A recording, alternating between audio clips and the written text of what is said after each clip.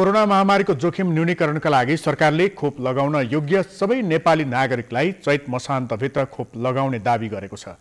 देशलाई कोरोना मुक्त बनाउने सरकारको अभियानलाई केही कमजोरीले गिज्जाइरहेको छ। ती मध्येकै हुन् सडकमा गुजरा चलाउने व्यक्तिहरू। सडकमा बेबारिसे छाडिएका व्यक्तिहरूमा अहिलेसम्म सरकारको आँखा पुग्न नसक्दा उनीहरू त कोरोना सङ्क्रमणको उच्च जोखिममा छन् नै साथै त्यही सडकबाट हिँड्ने अन्य व्यक्तिहरू समेत जोखिममा परेका छन्।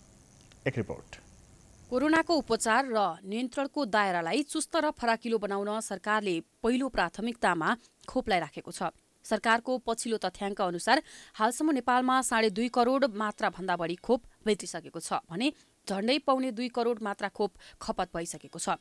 यो आधारमा सरकारी भण्डारणमा अहिले पनि झण्डै पचहत्तर लाखभन्दा बढी मात्रामा खोप मौजात रहेको देखिन्छ।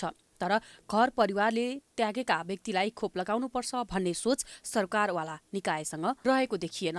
यही कारण बाहिरी जिल्ला त परे जाओस् राजधानीको सड़कमा बेबारिसी अवस्थामा हिँडिरहेका नागरिकले अहिलेसम्म कोरोना विरुद्धको खोप लगाउन पाएका छैनन्। कोरोना महामारी रोकथाम गर्न सरसफाइमा ध्यान दिनुपर्छ त्यही कारण पनि कोरोना संक्रमणको उच्च जोखिमबाट ती व्यक्ति नै छन्। साथै त्यही सडक भएर यात्रा गर्ने यात्रु समेत उनीहरूका कारण जोखिममा परेका छन्।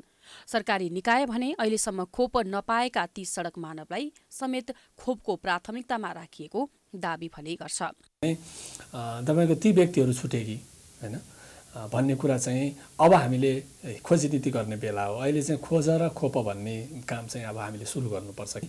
जोखिम त अभियसली उनीहरूलाई बढी हुन्छ ह्यान्ड हाइजिनदेखि लिएर हात सरसफाइका कुराहरू भयो तपाईँको सामाजिक दूरी कायम गर्नुपर्ने कुराहरूको ज्ञानका कुराहरू भए मास्कको प्रयोगको कुराहरू भयो यी कुराहरूको चुनौती त त्यस्तो समूहलाई अभियसली बढी हुन्छ। कोरोना संक्रमणको जोखिम कम गर्न सडकमा बेबारिसे बनेर हिँडिरहेका व्यक्तिहरू खोपको पहुँचमा ल्याउनु आवश्यक छ।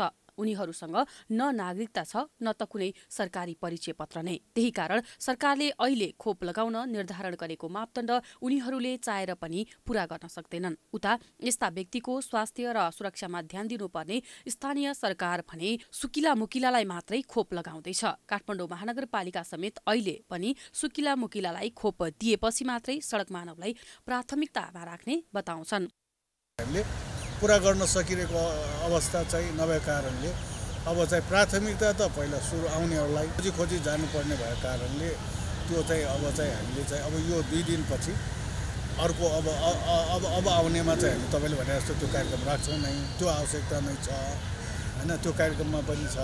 अब त्यो प्रक्रियामा हामी सुरु गर्छौँ। कोरोना महामारी तेस्रो लहरको त्रास अझै पनि जताततै व्याप्त छ। कोरोना मुक्त चाहिँ देखिएका युरोपेली मुलुकहरू अहिले पनि फेरि संकटमा परेका छन्। त्यो संकट नेपालमा पनि नाउला भन्न सकिँदैन।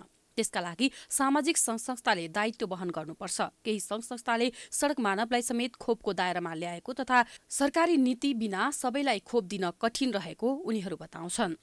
जनचेतना उहाँलाई चाहिँ कोभिड महामारीको बारेमा चाहिँ बताएर हामीले चाहिँ उहाँहरूकै उहाँहरू जहाँ बस्नुहुन्छ सडकमा त्यहीँ गएर नै खोप लाउन आवश्यकता छ खोप दिनलाई।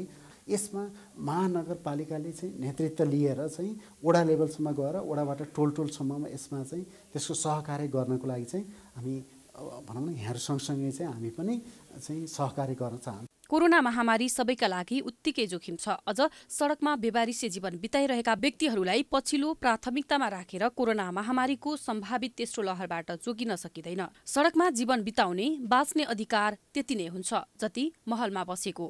त्यसैले सरकारले यस्ता व्यक्तिलाई सकेसम्म छिटो खोपको दायरामा ल्याएर उनीहरूसँग त्यही सडकमा हिँड्ने बटुवाहरूले समेत बाँच्ने अधिकारको रक्षा गर्नुपर्छ। प्राइम एचडीका लागि क्यामेरामा राजेश ढकाल र भास्कर भट्टाचार्यका साथमा सावित्री जोशी काठमाडौँ।